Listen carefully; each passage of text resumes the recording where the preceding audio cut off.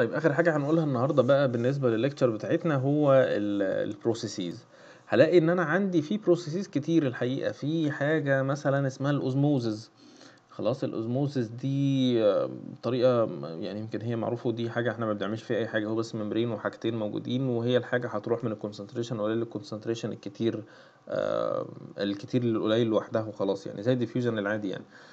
بس بس هي بتبقى selective إن في species واحد أو 2 يعني عدد معين من الspecies هو اللي بيعدّوا مش كل حاجة. هالاقي إن في حاجة بقى اسمها reverse osmosis آآ دي يمكن معروفة برضه آآ إن هي باقدر أعمل بيها ال ال العكس بقى، إن أنا باapply pressure علشان آآ ال ال الspecies بدل ما هو هيروح من concentration عالي للقليل لأ هو هيروح من القليل للكتير.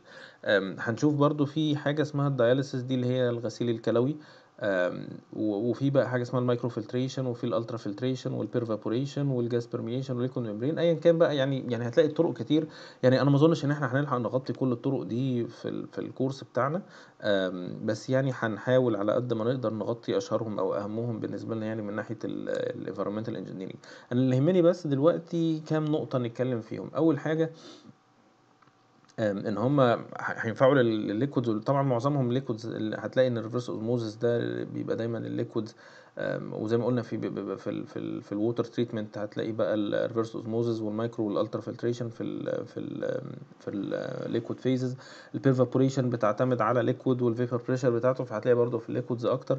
الdialysis طبعًا اللي في الliquid لإن هي بتبقى غسيل بتاع غسل يعني غسيل كلوي فبياخد الدم ينضفه فهو بيبقى في الliquid phase بس هي بتنفع برضه في الgas permeation وفي الliquid permeation دي بتنفع في gas و وliquid فهي بتنفع في الحالتين.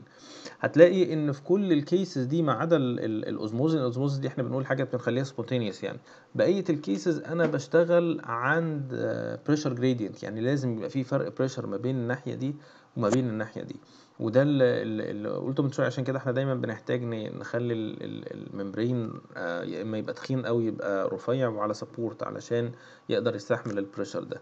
الpressure ده يا إما حاجة ضرورية علشان الprocess تمشي، يعني زي الreverse osmosis كده لو أنا ما عملتش apply لpressure الflow هيمشي في العكس عكس الاتجاه اللي أنا عايزه وده هيبوظ الدنيا طبعًا. آمم أو إن أنا أضمن إن أنا عندي driving force كافي يقدر يمشّي ب بريت عالي أو أو يعلّي الflux بحيث أضمن إن آمم آآ اسمه إيه دوّة، إن الflow يعني إن إن إن يبقى حاجة economically feasible يعني. هتلاقي إن هو هنا بيقول لك إن في حاجات بيبقى شغال بporous membrane في حاجات بيبقى micro porous membrane في حاجات بتشتغل membrane آآ آسف non porous membrane آآ وفي حاجات بيبقى ليها ف ف فهي دي الحاجات اللي إحنا قُلناها أنواع الmembranes اللي إحنا بنشتغل بيها. ف ومع إن هو non porous membrane مش معنى إن هو non porous membrane بس، هو non porous membrane ممكن يبقى على support فممكن يبقى anisotropic يعني مش لازم يبقى يبقى isotropic يعني. وهنا مدّينا شوية example زي الdesalination of sea water الrecovery of caustic from hemicellulose يعني أيًا كان، فهي دي الطرق دي موجودة يعني. آآ الطرق دي مش كلها applied على industrial scale آآ فيها حاجات لسه يعني يعني موجودة في industrial scale وحاجات لسه. بس يعني عشان نفهم شوية الفرق بينهم هتلاقي ال يمكن الفرق الكبير اللي بيفرق معظمهم عن بعض يعني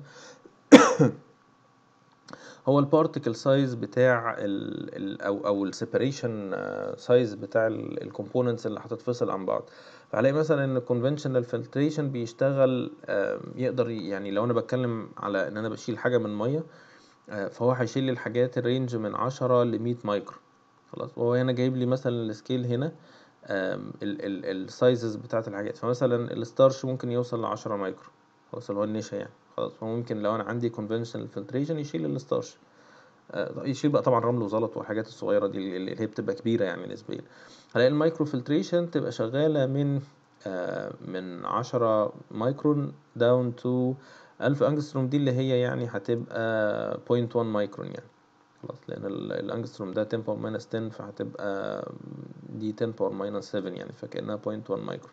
فدي ينفع فيها ال micro filtration 0.1 مايكرون دي يعني إحنا بنتكلم طبعًا أنا أنا مش عارف أقرأ دي لإن هي مش عارف pseudomonas مش يعني اسم بكتيريا يعني أيًا كان، فاسم بكتيريا ده ودي بكتيريا تانية، فالبكتيريا دي ممكن أشيلها بال micro filtration خلاص. هالاقي بقى في حاجات في ال ultrafiltration دي هتحتاج بقى يعني ال sizes الأصغر يعني بنتكلم مثلًا من حوالي يعني 50 أنجستروم لغاية 1000 أنجستروم فإحنا بنتكلم في حاجات بقى زي زي إيه مثلا؟ الهيموجلوبين بتاع الدم. خلاص هتلاقي زي ال- ال viruses زي انفلونزا الحاجات دي ممكن تتشال بال ultrafiltration ال reverse osmosis بيشتغل لغاية بقى أصغر من كده بكتير. خلاص وعشان كده ده ممكن يشيل مثلا الملح اللي في المية.